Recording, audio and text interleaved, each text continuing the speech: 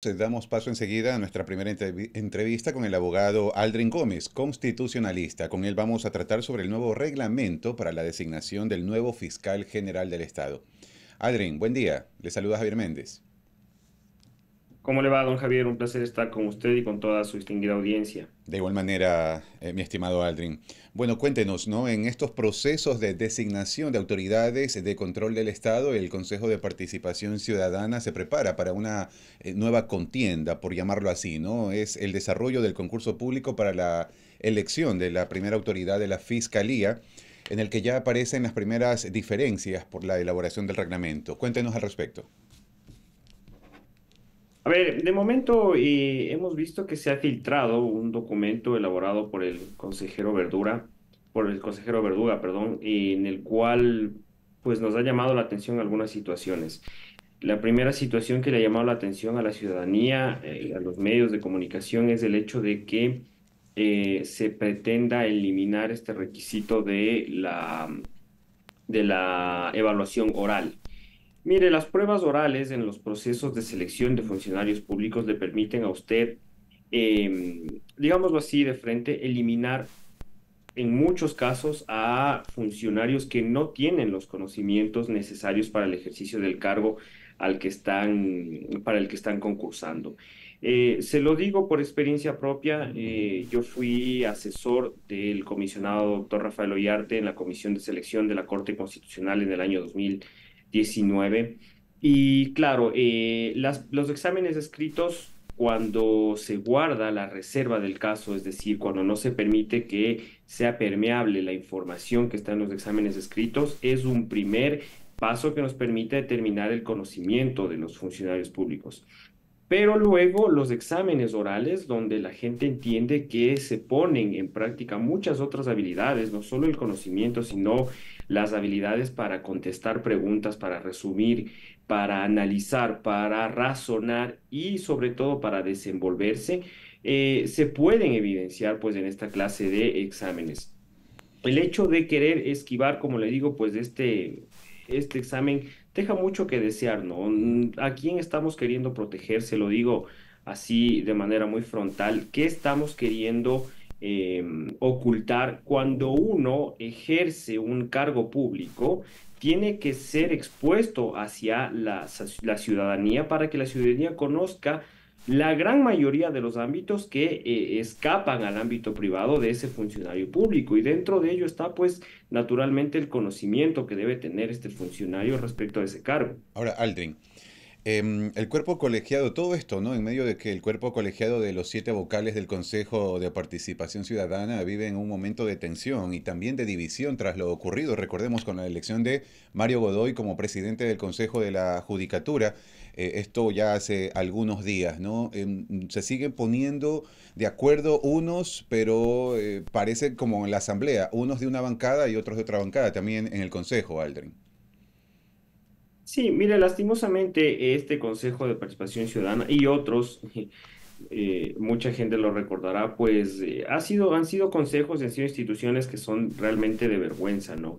Eh, un desconocimiento de los procedimientos internos, un desconocimiento de la normativa, un desconocimiento de la constitución, de la ley, de sus potestades propias y sumado a eso el hecho de que la gran mayoría de consejeros simplemente responden a sus intereses políticos, no tienen la menor intención de ejercer la función pública con sentido nacional, tratando de solucionar la gran mayoría de problemas que tiene el país. La selección de funcionarios públicos eh, que tiene a cargo el Consejo de Participación Ciudadana es importante, es decisivo en muchos de los problemas que queremos enfrentar hoy en día los ciudadanos, pero parece que eso poco o nada le interesa a la gran mayoría de consejeros de esa institución. Ahora, eh, una primera propuesta del reglamento se filtró para eh, la Fiscalía General del Estado, Aldrin. Se le atribuye al consejero Augusto Verduga, quien se perfila además como uno de los posibles candidatos, y ya lo han dicho abiertamente, ¿no? a la presidencia de la República por el movimiento Revolución Ciudadana para las elecciones generales del 2025. Pero, ¿qué hay de inconsistente en este reglamento que busca Augusto Verduga, Aldrin? A ver, hay algunas inconsistencias. Lo primero, lo señalado respecto de la prueba oral, como le digo, es un sinsentido dejar de lado un un, requisito tan importante que lo deberían cumplir los funcionarios públicos. Luego, por otro lado, está este tema de que solo se admitirían impugnaciones cuando se tengan resoluciones administrativas en firme o sentencias ejecutoriadas condenatorias. Eh, este naturalmente es un sentido, mire, un sinsentido. La Corte Interamericana de Derechos Humanos ya ha señalado que los funcionarios públicos se sujetan a un escrutinio mayor que la gran mayoría de ciudadanos. Y en ese sentido, todas las personas que crean que un determinado postulante no es idóneo para el cargo que está terciando, tiene que hacerlo saber y tiene que ponerlo en conocimiento de las autoridades y las autoridades tienen la obligación de tramitar esas oposiciones que presenta la ciudadanía. Esperar a que exista una resolución administrativa en firme, una sentencia ejecutoriada eh, condenatoria, peor en un país donde sabemos que la gran mayoría de, de casos en la función judicial demoran años, sería, una, sería un desconocimiento total de la realidad nacional, sería permitir que muchos funcionarios que han sido tachados eh, no solo por la opinión pública, sino también por la ciudadanía, accedan a cargos que le indico son eh, bastante importantes para la nación. Eso no quiere decir del, que se deja de lado el principio de inocencia, para nada, pero como le indico, los funcionarios tienen que someterse a ese escrutinio, por decirlo severo, por parte de la ciudadanía. Ahora, Aldrin, y todo esto en medio también de Andrés Fantoni, ¿no? que se mostró como un político democrático y que de formarse una nueva mayoría, la visión es trabajar en unidad, decía, porque no está apegado a la presidencia del Consejo de Participación Ciudadana. ¿Cuál es su criterio? ¿Qué se lee aquí? Bueno, mire, uno ya no sabe a qué responde o a quiénes responden los funcionarios de, de esa institución. Lamentablemente hemos visto que las mayorías eh, prácticamente como es en la gran mayoría de instituciones, es, un tema matemático, no es un tema que responda a mm, intereses políticos bien fundamentados, a líneas ideológicas para nada. Aquí lo que se hace es simplemente unirse a la mayoría que esté de turno y pues se irán resolviendo las cosas en favor de esa mayoría. Como le digo, mayoría que por lo general siempre responde a partidos políticos y no a la ciudadanía y no al ejercicio honesto de las funciones que debería realizar el Consejo de Participación Ciudadana. Ahora, por otro lado, también, Aldrin, em, rechazo toda intención de deshonrar, me decía hace algunos días Mario Godoy, ¿no? Al asumir la presidencia de la eh, Judicatura. Pero, ¿cuáles van a ser los principales retos en estos meses para Godoy? Mire, yo no conozco al nuevo presidente del Consejo de la Judicatura, eh, eh, conozco lo que ha dicho la gran mayoría de medios de comunicación, pero eh, este caballero tiene una gran, gran responsabilidad del Consejo de la Judicatura. La única forma de deslindarse de esas acusaciones que se le han hecho, pues es ejerciendo el, el, poder o el cargo de manera honesta, ¿no? Demostrando que naturalmente no responde a quienes se dice tienen a su favor sino todo lo contrario, que su eh, principal función en el Consejo de la Judicatura es primero evaluar a la gran mayoría de jueces que tiene ahorita la función judicial. La gran mayoría de jueces lastimosamente ha sido, em, creo que yo han sido un, gran problema en la, en la solución del tema sobre todo de seguridad, en el tema de la corrupción, en el tema de independencia de funciones. Entonces yo creo que ese es un principal eje en el que debe eh, girar la función del señor, del nuevo, del nuevo consejero, del nuevo presidente del Consejo de la Judicatura. Eh, eso por un lado, de alguna manera tratar de demostrar que no, eh, no existen intereses políticos de por medio en, la, en el ejercicio del cargo y pues como le digo, tratar de, de, de, dar esa solución a la gran mayoría de problemas que tiene la ciudadanía, causas represadas, eh, jueces que no son imparciales, jueces que están prácticamente vendidos a la delincuencia organizada. Entonces, ese es el principal eje que tiene que solucionar el, presidente del Consejo de la Judicatura. Le va a faltar tiempo, en todo caso, Aldrin, a, a Mario Godoy.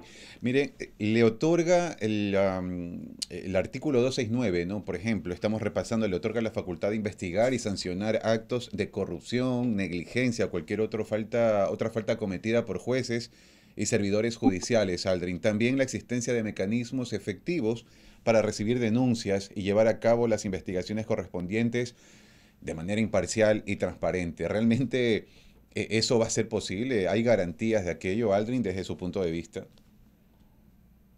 Lo que pasa es que las garantías vienen dadas eh, desde, desde de todo el Estado en su conjunto, ¿no? Naturalmente, si usted tiene una sola institución o una sola persona tratando de luchar en contra de la gran corruptela que reina en la gran mayoría de instituciones, eso no se va a dar. Eh, todo este trabajo es un trabajo en conjunto eh, con la función judicial, con los órganos auxiliares de la función judicial, con los órganos independientes de la función judicial, como son la Fiscalía General del Estado, eh, el Ministro del Interior, Policía Nacional, Fuerzas Armadas, todos ellos tienen una gran, una gran responsabilidad al momento de tratar de combatir a, la delincuencia organizada que, como le digo, lastimosamente ha permeado las instituciones públicas. Esto es lo que en administración pública se llama la captura de regulador, ¿no? Donde el regulador se encuentra o responde a los intereses de quien debería ser regulado. Y eso pasa en la gran mayoría de instituciones públicas hoy en día Em, la Policía Nacional, Fuerzas Armadas se encuentran permeadas por la delincuencia, no se encuentran realizando sus, sus em, los operativos, sus, funciones persiguiendo a quienes deberían perseguir, eh, carteras de Estado que se encuentran pues ocupadas defendiéndose de juicios políticos eh, mal habidos en la Asamblea Nacional en vez de dedicarse a, a, pues como le digo, ejercer sus funciones, a solucionar los problemas de cada una de las carteras de Estado. Entonces vemos que acá a los políticos lo único que les interesa es sus, valga la redundancia, los intereses propios de sus partidos, de sus líderes, y no les interesa solucionar los problemas. Entonces, mientras no exista una política pública, eh, en conjunto por parte de todas las instituciones para tratar de solucionar la gran mayoría de problemas que tiene el país, seguridad, educación, salud, eso no va a suceder. Es así como vemos a la Asamblea Nacional, a un sector de la Asamblea defendiendo los intereses también del expresidente de la Judicatura, Wilman Terán. Aldrin, eh, un gusto tenerlo aquí en Noticias. Dada la invitación en una próxima ocasión. Gracias a usted, siempre un placer. Hemos estado con el constitucionalista Aldrin Gómez hablando sobre el nuevo reglamento para la designación del nuevo fiscal general del Estado.